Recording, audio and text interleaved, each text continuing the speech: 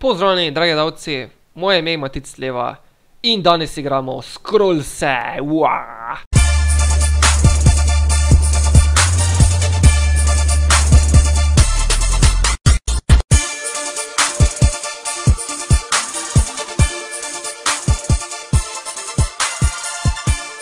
Če ne veste, to je nova igra od Mojanga, Mojang, pač firma, ki je naredila Minecraft. In, ja, da razložim, zakaj se gre prvo, ne.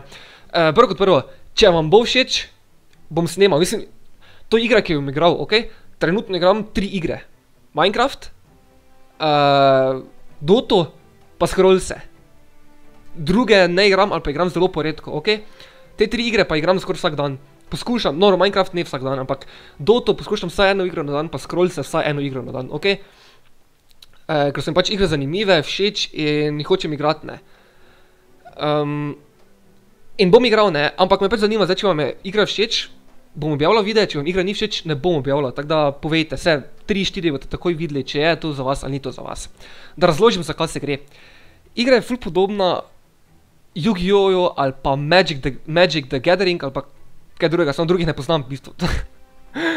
Toti dve igri poznam, mislim Magic nikoli nisem igral, Yu-Gi-Oh sem igral dve leti, pa nikoli nisem bil dober, ne.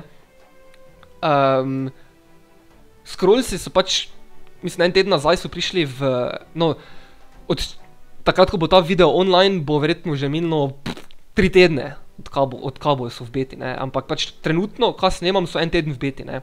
Jaz sem si kupil ene štiri dni po tem, ko so prišli v beto, sem jih kupil, petnajst evrov stanejo, in bom rekel, alo igra je svetovna, res, alo ful, ful, ful dobra. Res, izjemno dobra. Da razložim, ne. Ko pridete noter, arena, imate tutorial, imate quick match, imate trials, to dvoje še nisem nič igral, tutorial sem logično, da igral, ne, imate quick match, imate ranked match. Quick match brez ranka, ranked match imate rating, ki se zvišuje, znižuje, ne, logično pač izgubljate, zmagujete. In glede na ta rating imate pol rank pač, ne, logično, ne. Recimo zdaj, če pogledamo tu čisto začetek, top je Silin, drugi je Zrave, tretji je Blinky, ne. pač, ja. Da veste, ne. In pač jaz ranked še nikoli nisem igral, vidite, imam tu rating nič, ne. igral bom takrat, ko imel deck tak, ko ga hočem imeti, deck, deck, ne, deck tak, kot ga hočem imeti, pa ko bom mislil, da sem sposoben, okej. Gremo prvo pogledat deck, ne. Deck builder. praktično to so vse karte, ki jih imamo. Najprej morate vedeti to, da so karte, imajo tri različne resurse. Growth je ta spodaj, pol imamo energy, sredinska, pa order, je pa ta zgornja. Zdaj ne vem, če se vidi tipka, mislim miška, samo malo, grem preverit, če se vidi miška ali ne. Torej ja, vidi se, miška se dejansko vidi. Okej, torej spodaj growth, sredinska energy, zgornja order. Vsaki, vsak resurs, ne, ima v bistvu svoj, svoje karte, okej. Ene karte so za energy, ene karte so order karte, ene so growth karte, okej. Kot vidite, jaz imam samo growth karte, vidite, zeleno je growth, ne. Growth, samo growth karte imam, torej rast, ne. in pač finta je v tem, da tudi te, ti resursi diktirajo, kake karte dejansko bojo, ne, in če imate vi order karte, ne, order se ful zanaša na to, da se, da imate več enot gor, ki drug drugo buffajo. Torej en da plus attack vsem poleg sebe, pol imaš take, ko imajo ful HP-ja pa ful malo attacka, pa dejansko, ko ti napadeš, ti dobiš damage, ne. ali pa imajo ranged enote ali pa kaj take fore, ne. pač order je, ne, red. Pol imaš energy, energy je ful poudarka na, na, na, ka so že, na structurih, torej na na topovih, na lobberjih, na avtomatonih pa tem finte, ne. Saj boste videli to, ko bom igral, boste vse to spoznali. In je pač deck tak, da na začetku rabite nekaj časa, da ga postavite gor, ampak ko ga enkrat postavite, je pa nepremagljiv, ne, dejansko skoraj nepremagljiv. Growth je pa v bistvu agresiven, ful agresiven, pač enote malo stanejo, attacka nima ravno dosti, ne, ampak ful pogosto lahko napadajo pa pa dosti jih lahko spravimo gor, ne, res ogromno. In zaradi tega pač lahko na začetku ful začnemo špilati, ne. In sem pač jaz in ko pač ustvarite, ko si ustvarite profil, ne, pa kupite igro, pa si ustvarite profil, morate si izbrati en deck, kao pre-constructed deck, ne, torej pač dobite noter v tistem pre-constructed decku, torej vnaprej narejenem decku, dobite pač karte samo enih resursov, ali growth, ali energy, ali order, ne. In jaz sem si pač izbral growth.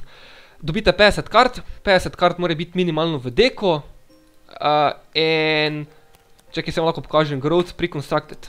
Vidite, to lahko sortiramo in take dobimo noter v growth pre-constructed. Zdaj upam, da še imam vse karte, ki so bile v tem decku, ker nekaj sem jih že prodajal. ampak mislim, da neki tak boste dobili, ne. Ta deck je okej, čeprav mislim, da bi lahko bil stokrat boljši, ne. Ful dosti boljši bi lahko bil, ne. In jaz sem si v bistvu začel svoj deck delati, ne. Load deck, poimenoval sem ga OP-deck, pač za hec, ne, pol ko bo dokončan, ga bom imenoval Wolf-spec, ker v bistvu finta je, da bom imel ful dosti Wolfov, ne. In bom pozneje v gameplayu razložil, kako mislim, da bo deloval, ampak zaenkrat pač vidite te karte, ki jih imam, ne. Imam enainosemdeset kart, to je glede decka, okej. Pol imamo store, kjer lahko kupujemo karte pa jih prodajamo. Okej. Ta ženska mi je tako svetovna, ne. Ne vem, zakaj, ampak ful mi je svetovna. Včasih je ženska, včasih je pa moški tu, ne. lahko skupite, kupite random scroll, torej dejansko za sto golda kupite naključen scroll. Ne veste, kak resurs bo, pač naključen bo, okej. vidite, pač random faction, okej, to imenujem pač faction, ne. Jaz imenujem pač... okej, zdaj sem kupil. Okej. Ampak ta ni, to ni slaba karta, to je dobra karta, verjemite, to je ful dobra karta. samo nisem hotel kupiti, ne, to sem fejlal zdaj. v glavnem, order scroll, ne, mislil sem, nisem niti gledal, kaj piše, samo pač kliknil sem, da bi skril, ne.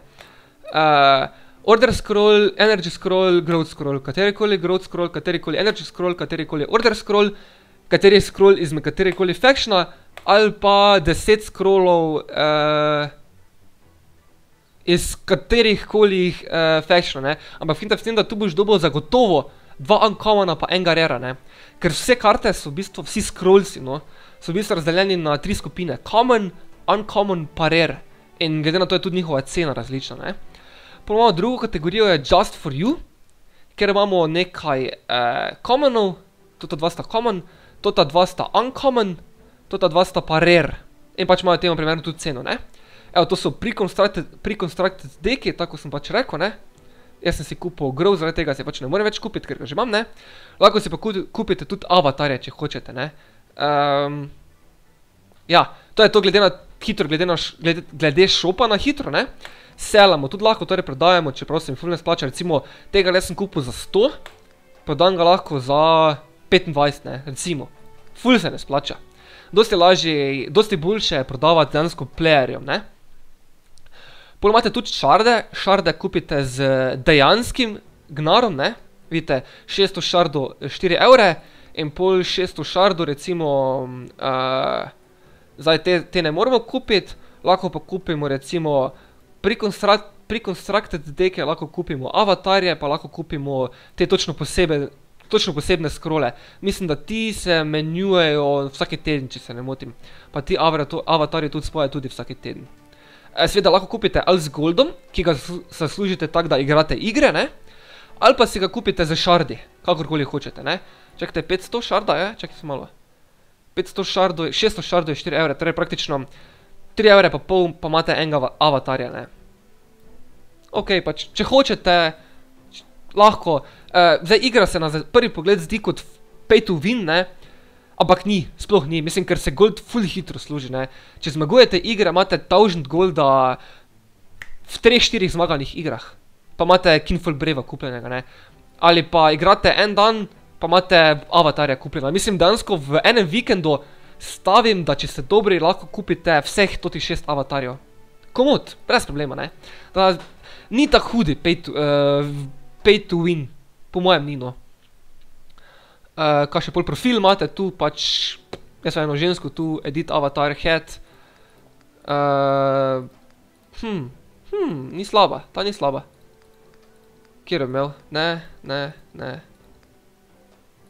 Lol, katera bedna. What? Ne, ne, ne, žensko hoče imeti. Ne, to sem že imel. Ne, ta je ful češka, ne, ta še bolj češka. Ne, ne. Ok, tale, safe, to to. To to. E, čeprav, e, torzo bi lahko imela malo drugačne. Wow! Oh, legenda, safe, ok, to je to. sem spremenil. In to je glede tega, ne. E, kako se bojujete, valjda? Kliknete quick match. Izberete deck. Pa vam začne iskat. E, še to imate, tu imate join room. In imate general, dex, trading, pa strategy. To so osnovne sobe, ki so vedno online. Zdaj, te sobe jaz ne bi ravno uporabljal, mislim, ne uporabljam jih, ne. Če hočete tradat, ta trading je vedno zaseden. Sto ena je maksimalno, aha, recimo sto je že polno. Pač, vedno je zaseden, ne.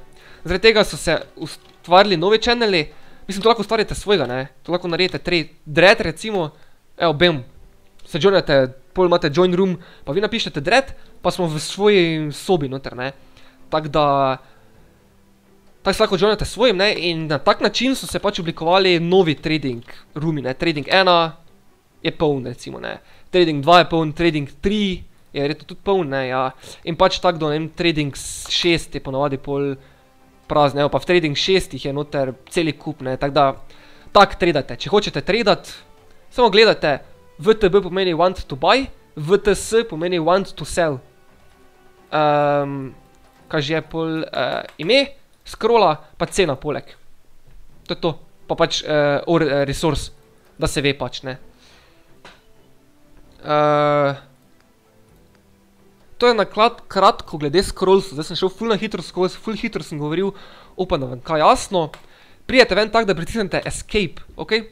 Pritisniti morate escape, ker če ne pritisnete escape, ne pridete ven z igre. Dejansko ni gumba za izhod iz igre. To ne gre, to gre samo nazaj na ta main menu, main menu, ne. A, tu imate credits, okej, pač, to je to, ne.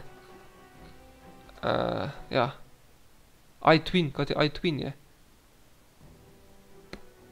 Okej, jsonfx.net, okej, sharp zip lip. Saj ni važno. Pač to je to, ne. Jaz bom šel zdaj eno igro igrat, pa se vidimo v igri, okej? Uživajte pa, čao, bao.